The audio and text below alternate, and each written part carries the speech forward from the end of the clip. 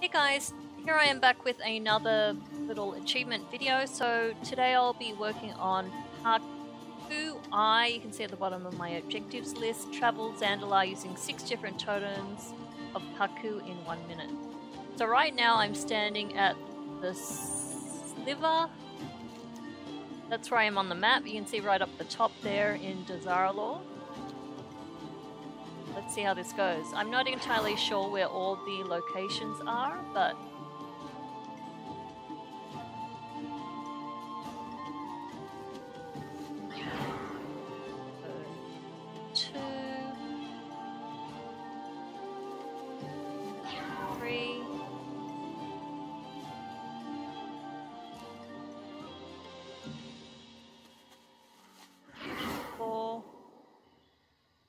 Going in a circle.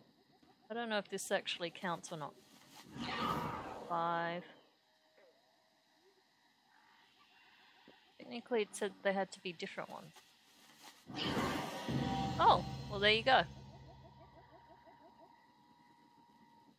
That wasn't too bad. Alright.